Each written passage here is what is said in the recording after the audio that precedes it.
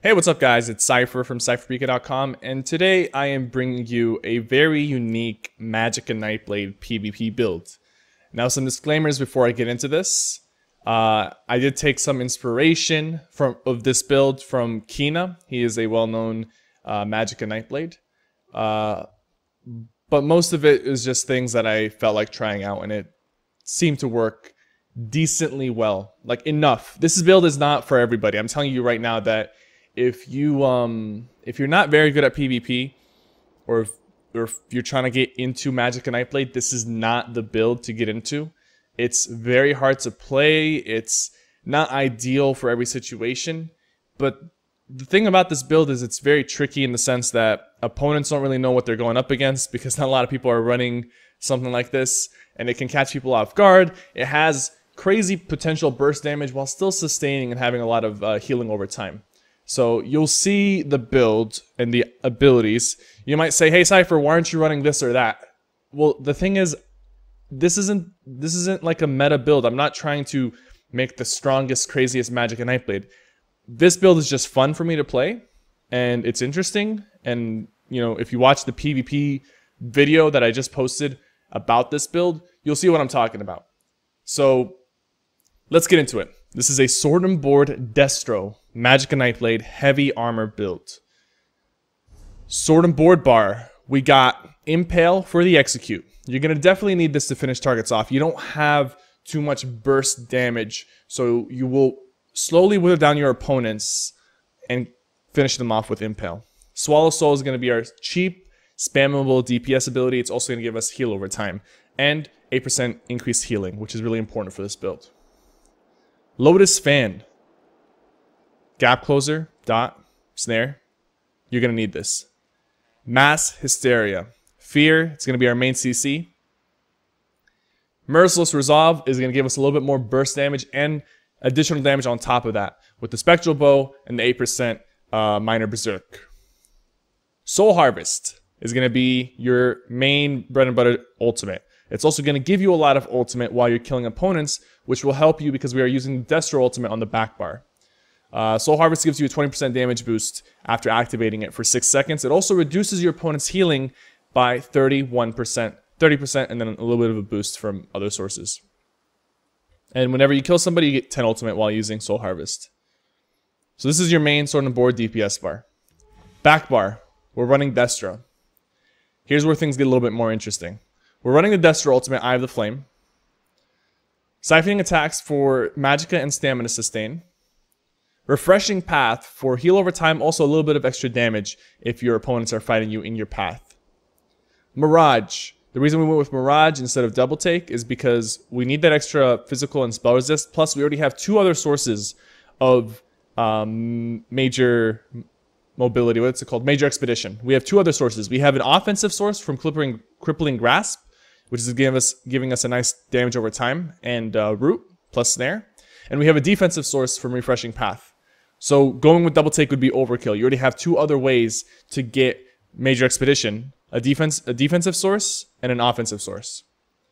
Now here is, you know, an ability slot that you can pretty much put whatever you want here. I put Reaper's Mark.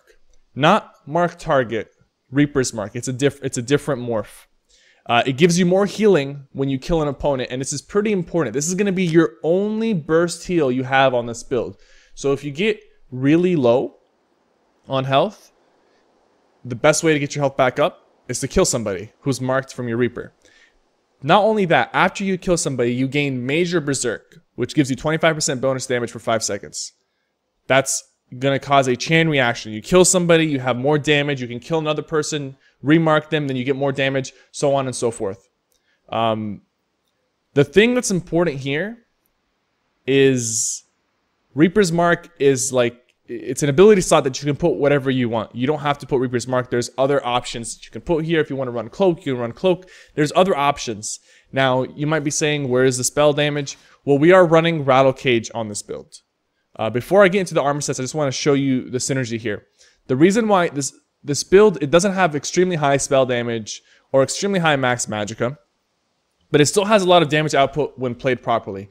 Because of the fact that Merciless Resolve gives us Minor Berserk, that's 8% bonus damage. Soul Harvest gives us 20% additional damage. That is not a major or minor buff. It is on its own 20%. So that's 20%, 8%. On the back bar, we have Reaper's Mark, which gives us major Berserk when we kill somebody. That's 25% bonus damage. So we're talking huge amount of bonus damage 8%, 20%, and 25%. When all that is stacked, your damage goes through the roof and you will hit extremely hard. Even with a lack of spell damage in Max Magicka, you will hit extremely hard. Um, so let's get into the armor sets really quickly. The armor sets are definitely, definitely interchangeable.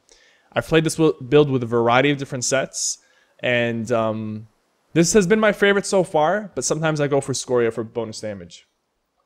Uh, we are running five pieces of Fasalla's. The reason I'm running this is because this build doesn't have too much burst. So you need to be able to have sustained damage um, on your opponents. And one way to do that is by to reduce their healing. If you're going against a Stam Sorc, you stay inside their Hurricane, they're never going to get outside of that Fasalla debuff.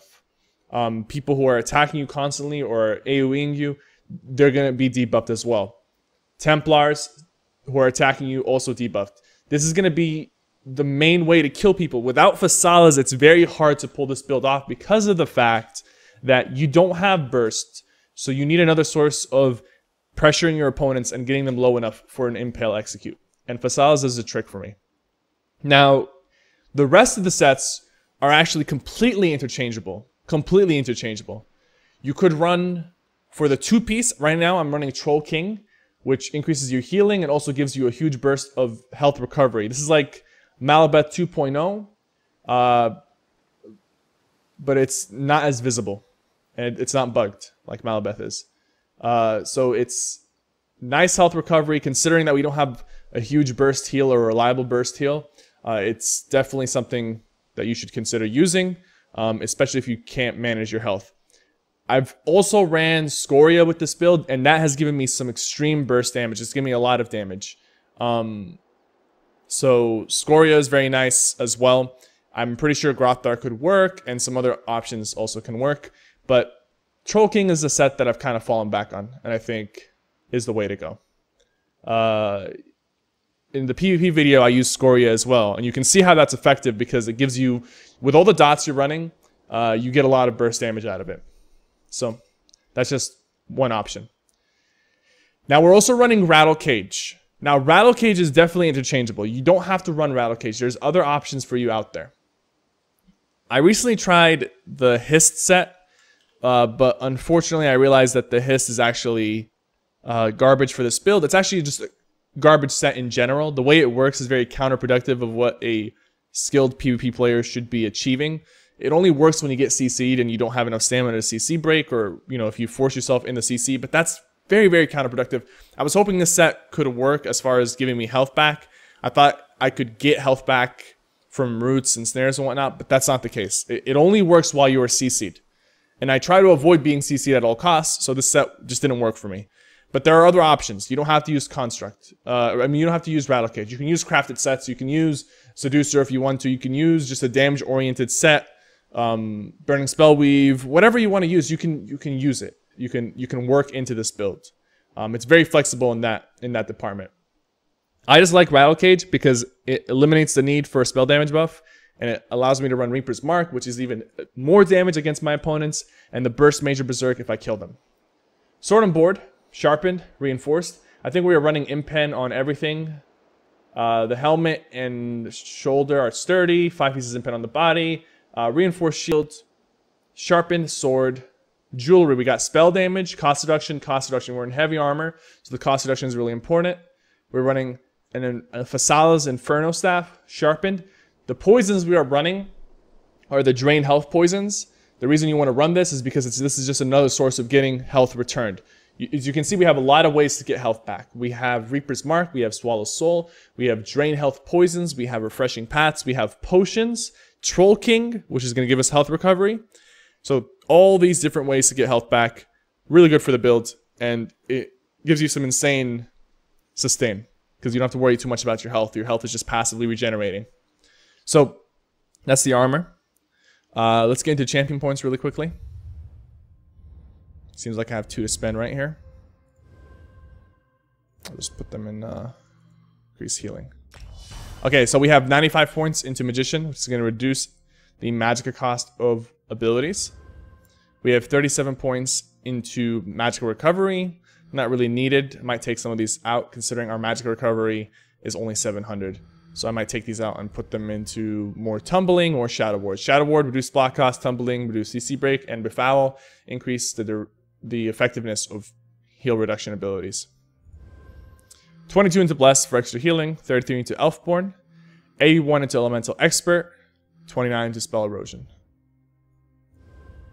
Nothing here, because we don't really do too many light and heavy attacks. 20 into Thaumaturge for the dots we're running. 5 into Spell Shield, 7 into Resistance. You really want this passive. It's very important. This is another way to get health back, by the way. This passive right here is very important. Restores 321 health when you're hit by a critical attack. This doesn't have a cooldown as well. You constantly get health when you get crit. Hardy, 51. Elemental Defender, 42. Big Skin, 12. 7 into Quick Recovery. So, basic CP layout. Nothing too crazy. Let's get into the stat sheet. We're using the Thief Mundus for extra crit. That's going to give us crit damage and crit heals. Really important. Uh, 37.6k max magicka, 28.7k maximum health, about 15k maximum stamina, 733 recovery. You see, you see the stats right here. Not too much to explain. We are a high elf, but in my opinion, the best race for this build is Breton. You don't necessarily need the recovery or the flame damage on high elf. I think the Breton cost reduction and the elemental resistance or the resistance is more important. But I don't want to switch back and forth between High Elf and Breton because there's builds that I play on Magicka Nightblade that prefer High Elf over Breton. This is one of those builds that prefer Breton. Uh, so that's the way to go. Um, if you guys have any questions about this build, like I said, this is a very you know unique, different type of build. I don't recommend it if you're new to the game or if you don't know what you're doing with Magicka Nightblade. I might upload something a little bit different for that's a little easier to play or pull off. Uh, but for now, thank you guys so much for watching. I updated the builds on my website almost all the builds that I posted, I think all of them that I've posted recently are on the website now, sypherpk.com. So go check out the website for more builds. This one will also be posted on the website. And if you want to see this build in action, I posted a 1vx video of this build on my YouTube channel. That should be live by the time this video goes up. Thank you guys so much for watching. My name is Sypher, and I'll see you guys next time.